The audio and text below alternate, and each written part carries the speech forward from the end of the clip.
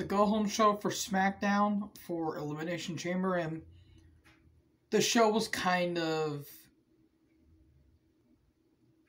meh. I'm Bosso Basics, I'm back to with another video, and today I'm back to with another video, and yes, I'm doing a SmackDown reveal with my Elimination Chamber predictions. Um, I do want to say something. Um, Rush Limbaugh, I think that's how you pronounce his name, controversial, you know, talk show host, passed away um, this weekend. Oh boy, that he was not a nice person. No, read up on it, kids. He said a lot, a lot of mean things. I hope he's burned in hell for what he did because he was not a good individual. He was toxic. So yeah, with that out of the way, let's let's start with the review proper. And yes, I will be doing um my top 10 favorite and my top 10 worst elimination chamber matches. Yes, there might be some nitpicking and some bias, but I mean, there's been some 10 duds, so anyways, yeah, well, I'll talk about that in the next video. So, Edges in the ring, you know, you know, talking about like what, like what will happen at Mania and all that stuff, and then Roman comes down and, you know, saying about like Edge, your Edge is playing mind games and all this stuff, and he might be going to Raw and facing Drew, which I will be all for. Uh, but if he faces Roman, I wouldn't be that, but I wouldn't be mad, but let, let me talk about that here in a little bit. Um, Uso and Heyman are there as well, I should have mentioned. And, you know, Heyman comes down, or Roman, Heyman, and Jey come, Jamin, if you will, Jamin. Um, they come down and all that stuff, and then all of a sudden, Sami Zayn comes down. Um, Zayn's, uh, Zayn's, you know, Fidel Castro look and, you know, the gimmick he's got, it's kind of interesting, but a little bit weird. But he's doing the best what he could, and I think it's pretty cool. So, yeah, he's saying that, you know, he's going to Mania and all that stuff. And then Jey Super kicks him, and then... And then Roman whispers something in uh, Edge's ear, so we're gonna see what he said later on. Um, Big on commentary at ringside in a couch and a foot massager looking very comfortable. He really looked comfortable. Uh, we get the first match, Apollo versus Nakamura. This was actually the match of the night. Like, this was the best, like, well-worked, well-wrestled match of the night. The main event was too, but it got very sloppy.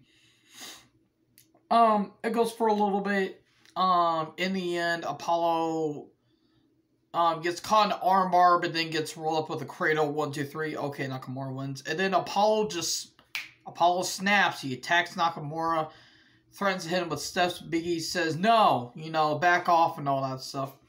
And then Apollo Pearl Harbors him. Famous line from um, the great um, Gorilla Monsoon. Rest in peace, Gorilla Monsoon. That Bobby the Brain Heenan, one my personal favorite manager and the best commentator. Well, probably in the 80s and 90s, but you, you, you get what I'm saying. So yeah, Apollo, you know, just beating Biggie. Biggie with no shoes on. That's kind of a health hazard thing, but whatever. Matt gets to do it, so Biggie gets a pass as well. So yeah, um,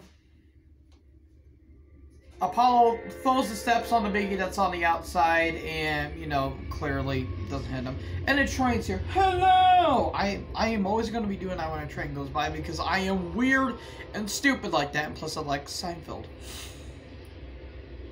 So yeah, Biggie gets stretchered out. Okay, this this was good stuff. I'm I'm wondering what they're going to do next with Apollo.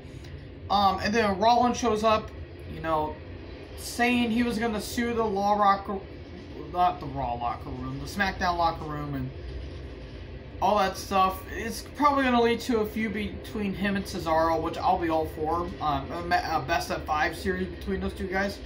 I'm down. I'm down for that. They're both great athletes. Uh, Rollins' fashion choice was a bit interesting. He looked... He was dressed in all silk. Silk Rollins. like It's like Silkworm, but except the worm had a weird goatee and man bun. And a black, I don't know. If he's still doing this whole Messiah thing, which I am actually not a, I'm not the biggest fan of it, but I did appreciate and Rollins going all out with it. So then, um, then we get the Riot Squad versus Tamina and Natalya. A Snuka around three women. Hopefully she didn't take stairs like her dad did. Yeah, I'm not apologizing for that because look at what Jimmy Snuka did back in 1992. Because, you know, looking back at Jimmy Snuka's career, that doesn't get terrifying.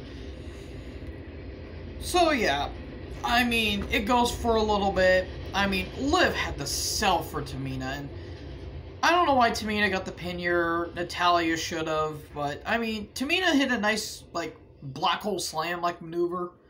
Like she held him, held her like a world strongest slam, and then did like a um like a boss man slam, which that that was kind of cool. Then like Billie Kay comes down and you know tries to you know win.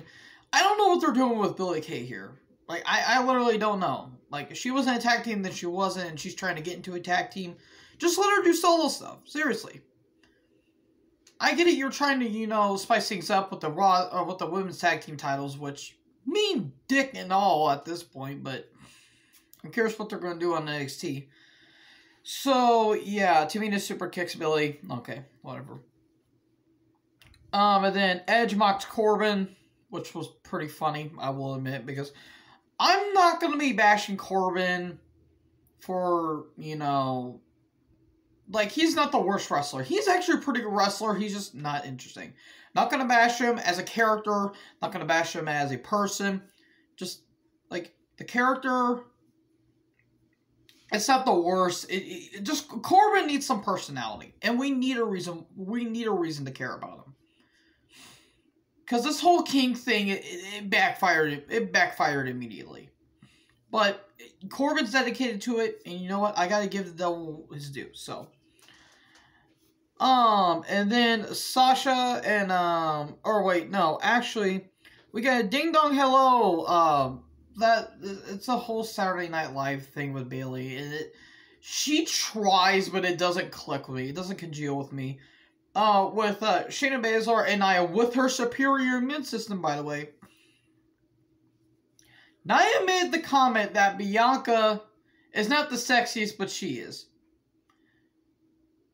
Now, if you guys know me and you know my taste of women, you know I like I like big women. Just gonna say that right now because I clearly I am not weird enough as it is. But for those of you who know me personally, then yeah. But for those of you who don't, hello, I just exposed myself, you know. But not like that. I'm not Velveteen Dream. Um. Yeah.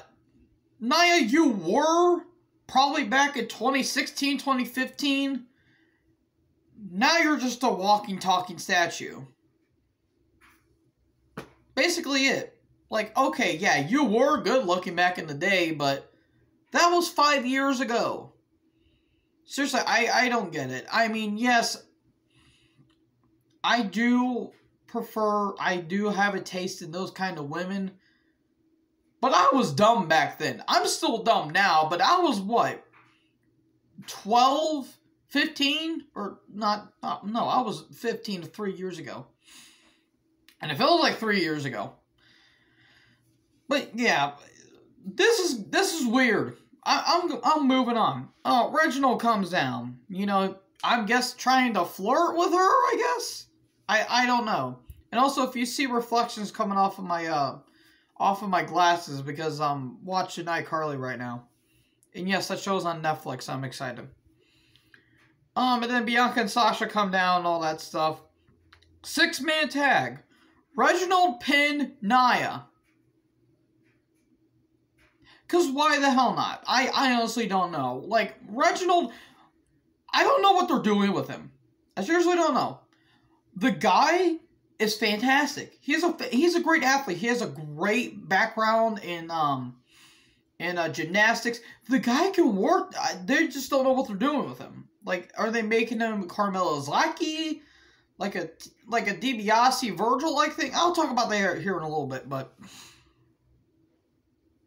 but yeah, like Reginald moves out of a leg drop by Nia, and then Sasha um drop kicks, you know, Reginald onto Nia. And Nia, I think, was supposed to kick out at two, but she didn't, and she kicked out at three.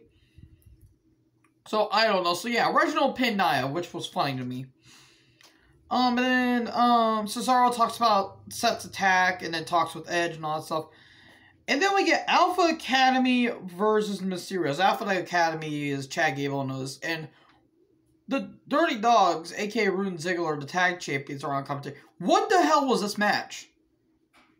I'm I'm still confused. Did Otis turn heel? Did Otis and Gable turn heel? Okay, so what happened was, is that Otis, I think, tagged Gable, but couldn't get out of the ring, and he was just splashing Rey. Not like that. Like he was like jumping on. He was hitting like splash. Like he kept he kept. Ah, I'm trying not to make this weird, but he kept like he kept hurting Rey when he wasn't the legal man. So, I guess I went to a no contest because I don't. I literally don't know what happened. I seriously don't know what happened, and the, even the commentary was confused. So Otis turns heel. I guess he hits a top rope splash onto Rey, which okay. I, I have no idea what happened. I probably lost, I lost brain cells watching this segment because this was just bizarre. Then Carmella di uh, disciplines Reggie. A white woman disciplining a black man. Fox News at, at 11. I made a comment on that. People people thought it was funny. Yeah, because Fox News, yeah, they don't they considering their beliefs, they probably don't like those type of people. Um and then, you know, Cesaro, Nakamura, or not Nakamura, Cesaro, Daniel Bryan, and are backstage. They talk about Owen's betrayals, like betrayed Sami. He They mentioned they betrayed uh, Jericho by talking like about the list and all that stuff, which I thought was pretty cool. And then we get a six-man tag. Uh, Sami Zayn, Baron Corbin, and Jey Uso versus Daniel Bryan, Kevin Owens, and Cesaro on commentary. Or, no, not commentary. Jesus. Six-man tag. Edge is on commentary, then Heyman joins later. Before the commercial break, Cesaro was getting ready to swing Corbin, but but couldn't because he was like exhausted. So they tumbled and went to break. Then when they, when we came back from break, Cesaro was swinging Corbin. I don't get that, but you know, in the end, uh, Daniel Bryan taps out Zayn, and then this whole sequence is bizarre. It was kind of like that bizarre sequence on NXT. Uh, Baron Corbin, like Baron Corbin, I think, missed his cue and went too early. And then Baron Corbin gets into the ring, hits into days of Daniel Bryan, and then a stunner to Corbin, and then an exploder to Kevin Owens, uppercut to Sami, a super kick to Cesaro, a spear to Uso, Edge spears Uso, and then Reigns spears Edge and then cut to black. Okay. You're hyping up the Elimination Chamber, which I am, which that would be, that the ending was messy, but I can tell what they're doing. So yeah, that was SmackDown. Um, I'm sorry for the weird intervals. It was I'm I'm a weird individual, and you guys know that. So, anyways, with my Elimination Chamber 2021 predictions. Um, this match was added on the card just uh, just last night.